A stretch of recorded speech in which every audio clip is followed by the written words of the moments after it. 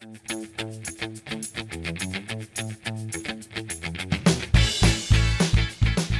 lovelies, it's Nae here and today I thought I would do a little walkthrough of my traveler's notebook. I did do a haul video on this when it first came out and I'm yet to update you on any layouts or anything that I have done in here. So we're gonna get stuck into it and I'm going to show you a few little tips and tricks that I have come up with along the way. So nothing's changed on the outside. It's still same old lovely Ashley G pink and gold white polka dot. Oh, so in love. Inside I have used some bits and pieces that I did first equip my traveler's notebook with. I've still got a few tags and labels and stuff and I haven't used much of those.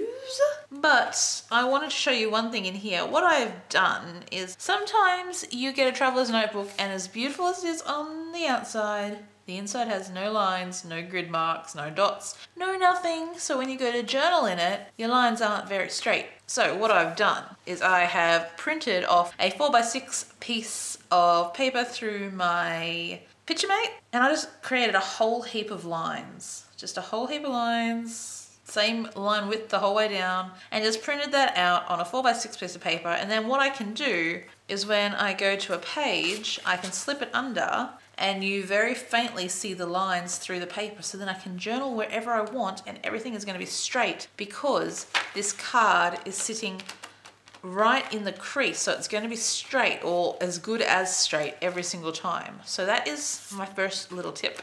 And I just slot that in the front there and then it's hidden with this pretty Project Life card. And then I can always grab it when I need to journal or whatever. So I don't know if I showed you the decorations on the front of these, but this is the first book. I only, I've only decorated two books in here. There are five, but I figured some of these will be double ups once I fill these two books anyway. So this is a book of faves or my book of favorite photos and I haven't been keeping up to date with this. I really haven't. It's been horrible. Um, but I just decorated the front. I used some of the Felicity Jane puffy stickers from Sue's Fish Happy Day collection and a label and a few hearts. Uh, the gold glitter hearts are from the Crate Paper Cute Girl, Prima flowers and a few Kaiser Bling and pearls a little star up the top there and then this little handmade gold and pink paper clip that I made using a bow die that I don't have. My beautiful friend Melissa has it and I need her to come and scrap at Nae's another time very soon because I'm running out of these beautiful little bows. I made a heap last time she was here. And so I only have a few left and I'm hoarding them because I don't want to use them, but I love them so much, like these ones.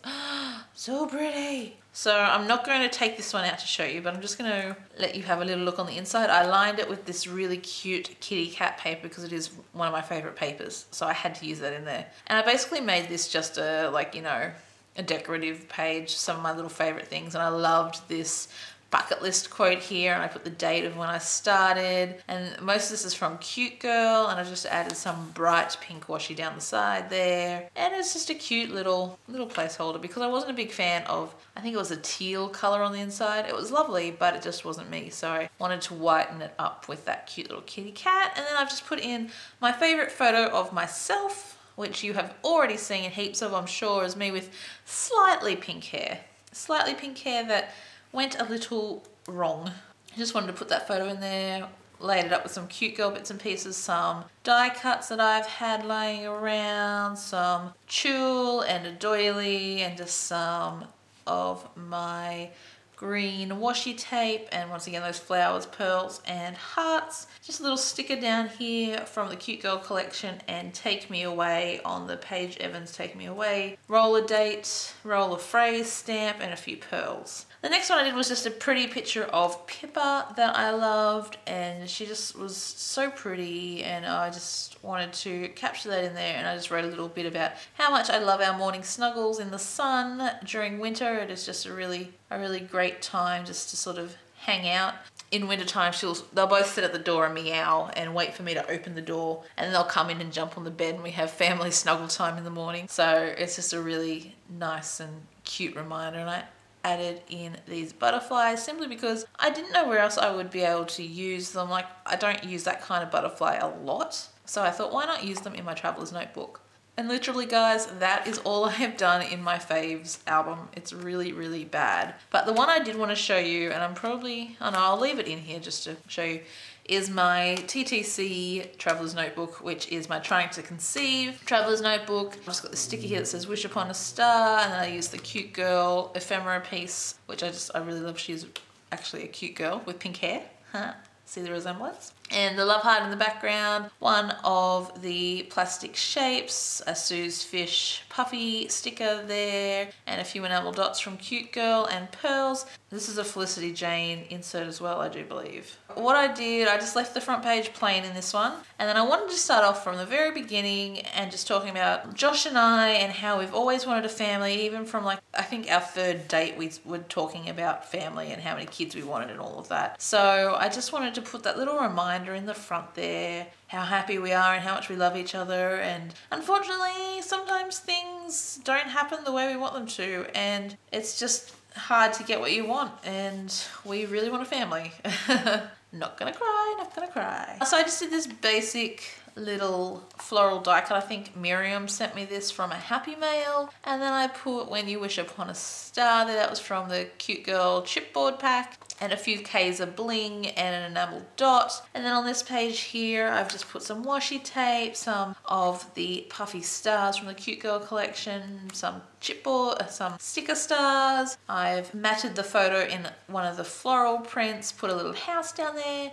And this photo is just basically like talking about my morning routine. Every morning I have to check my temperature and then I have to go and check if I'm fertile. And I know this is probably going to be TMI for some people, but this is my everyday life. And I'm just talking about how it's funny that when you are so in tune with your body, you're so out of tune with your body and charting every change that happens and trying to find reasons behind it and you know timing things and how it's been a struggle with Josh working in Brisbane and always waiting for that solid smiley face so that's what that photo is there this one here is just talking about the possibility of having PCOS. It was definitely on the radar of this is what could be wrong with you. You're overweight, you're having trouble conceiving, all these kinds of hormone imbalances. From the outside, it looked like I had PCOS. So we ran some tests and I went back to the doctor and everything came back normal apart from the fact that I had a few cysts on my ovaries that weren't a big deal. She was saying that a lot of women have that and it's not a big deal. After that, I got a bit frustrated and a bit annoyed and it wasn't any annoyance at the doctor herself. It was just annoyance at like why isn't there an answer? Why is this so difficult? Why can't we find a reason? I don't mind having a reason or a problem if I know what it is and then I can work towards fixing that problem. But when you don't know what the problem is, it is super, super frustrating. So I sort of wrote a little bit about that we got transferred to a fertility specialist and uh, she is amazing dr hassan she is just really lovely really sweet Meanwhile, guys, just a little statement out there. I never wanted to go down the doctor route. It was not my thing. I always wanted to conceive naturally and not worry about going to doctors if we couldn't conceive naturally then it couldn't happen it was just not going to happen and we just weren't going to have kids but i know how much josh wants children and a family and it would be selfish of me to do that so that is why we've gone down this route and are doing this i'm on the fence where do I draw a line? And I don't know if I could handle going through IVF if it came to that stage. But then again, I'm not at that point yet where I have to make that decision, but thinking about it. So yeah, I don't know where I draw the line. It's really difficult, but this traveler's notebook has been really good for me getting my thoughts down on paper and just getting it out there, but also making it really pretty. I got to use my little dolly stickers, which I absolutely love. They're so cute. And some of these stickers that I wouldn't normally use on a layout. So it's always a plus. So what I've done on this one is I've just added in a business card from my fertility specialist, popped on a little bit of washi tape at the top here and a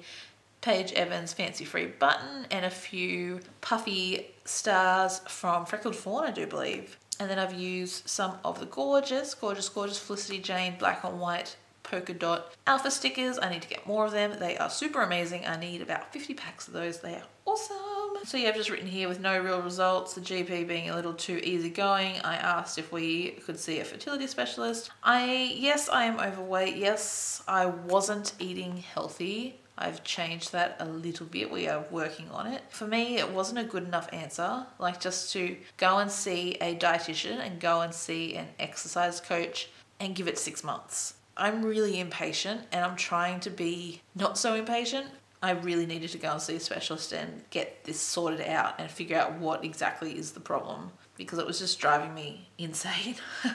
Still is driving me a little bit insane. So this one here, I just want to do a little bit of a visual breakup and I just wanted to decorate a page. And then down the bottom here, I've just written I don't have PCOS. What a huge relief. But then also there's this side that has a bit more of a story to it. Just use some cute girl paper, some more or less freckled fawn stars, some bling, and a chipboard piece that I absolutely love. And as soon as I got that chipboard from Cute Girl, I actually bought another another sheet, believe it or not. I bought another sheet because I still haven't got my one from American Crafts that they're replacing. So I was like, I knew that was going to happen and I knew I was going to end up with not being able to use it like all my other ones. So I decided to buy another sheet, added on some washi tape on here, some stars and enamel dots, and I've just spoken on here about how it was a huge relief not to have PCOS, but what is actually wrong with me? Why can't I fall pregnant?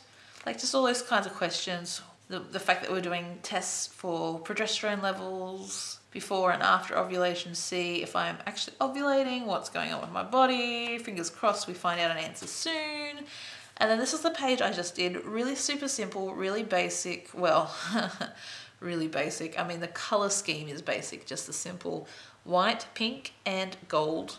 Just really simple. I've added on a few doilies, layered them up, added in the cute girl wood veneer shape, textured shape, added in a leaf from Love Always by Cocoa Vanilla, some bling, stickers, Cocoa Vanilla, you know, Studio Calico I do believe, some hearts from Cute Girl, some enamel dots and bling, and then I just wrote this whole story down here about how we got the results back. My progesterone levels were at 28 and a good level is 40. 28 is still a good level it's still high. It's still the fact that I'm, I'm, actually ovulating, that's a good sign, but it's not the best. So I was put on metformin, which is a drug actually for diabetes patients to lower blood sugar levels and it has been working wonders for me it has like just automatically changed i was taking it for two days and it automatically changed my cycle not getting pimples, like just my hormone levels were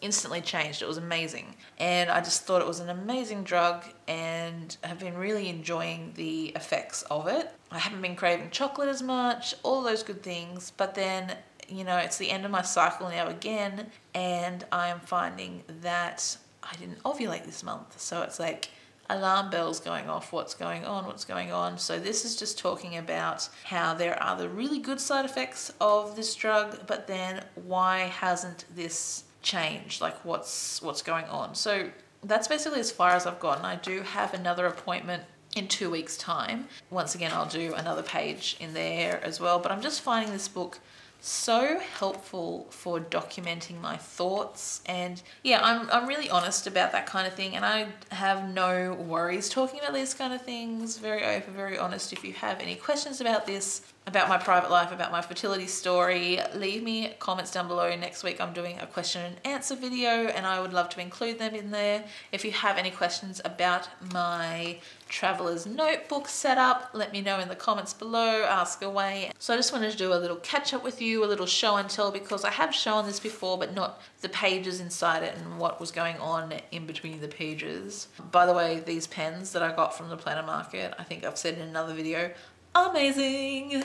So amazing. They write really really well. Uh, this is a normal ballpoint pen and this is the pen that I got. And look it doesn't go through the pages. I'm so excited. I love them so so much. But yeah any questions leave them down below. I'll answer them in a video next week. I'll be back with a process video hopefully tomorrow. Thank you so much for watching guys. I love you so much. I'm sorry that this week has been a bit of a blip but next week is my birthday and hopefully we will get some really cool videos out there for you. If you really enjoyed this little look through of my traveler's notebook and would like to see more, don't forget to give this video a huge thumbs up and leave me a comment down below. If you aren't already, don't forget to subscribe to the Hey Daily channel and jump on over to the Hey Daily Creatives group on Facebook. We have heaps of challenges and heaps of fun, exciting shares and conversations over there. And so we'd love to have you there as well. And I will see you all tomorrow with hopefully a process video. Love you guys. Bye bye.